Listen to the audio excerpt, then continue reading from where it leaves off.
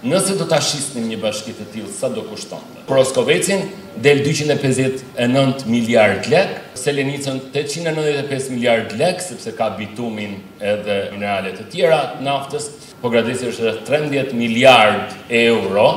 Këto vlera përfshijnë kapitalin natyror të tre bashkive të vendit, si një vlerësim që kryhet për herë të parë në vendin tonë. Mihallaq Qirjo, i cili është një prej ekspertëve që ka kryer vlerësimin, thotë se kapitali natyror janë të gjithë elementet që prodhojnë vlera dhe përfitime për njerëzit, nga uji, toka, mineralet, biodiversiteti e të tjerë. Këtu nuk është vlera vetëm se çfarë shitet e merr përditë, është edhe vlera potenciale që gjendet nën tokë, mbi tokë. Sipas Qirjos, kapitali natyror duhet të inventarizohet, dhe të përfshihet në llogaritë kombëtare. Ka një diskutim mbi kapitalin natyror që mund të futet në llogaritë kombëtare, pra të inventarizohet, të përllogaritet dhe të jepet llogari për të.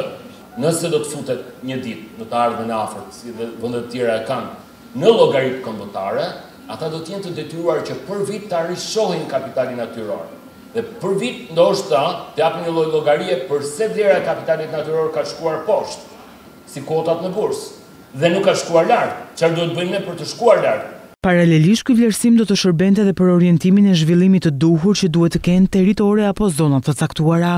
Pra jo vetëm që na vendos përpara një përgjegjësie, po edhe na tregon rrugën në të ardhmen se ku mund të ndodhë zhvillimi për këto zona.